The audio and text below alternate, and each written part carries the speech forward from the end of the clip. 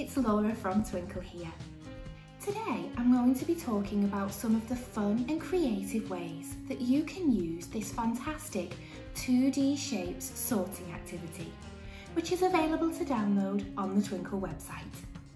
This maths activity is a fun way to improve learners' confidence at recognising and sorting irregular 2D shapes. These are flat or two-dimensional shapes which don't have equal sides or equal angles.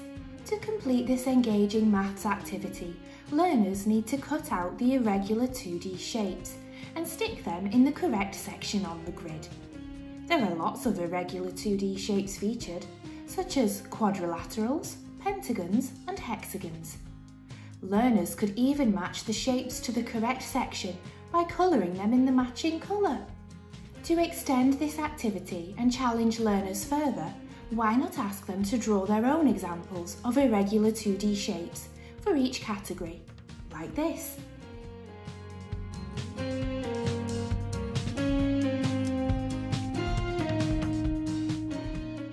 Improve learners' confidence as mathematicians further by asking them to explain how they identified and sorted each shape them to note down what they know about each shape. For example, an irregular pentagon has five sides and five interior, or inside, angles.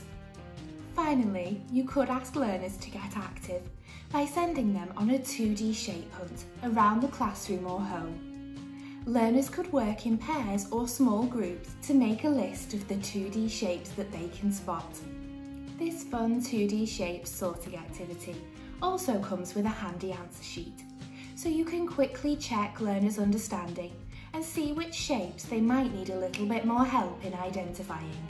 I hope you enjoyed exploring some of the fun and creative ways that you can inspire learning using this fantastic irregular 2D shapes sorting activity, which is available to download on the Twinkl website. Thanks for watching. See you next time.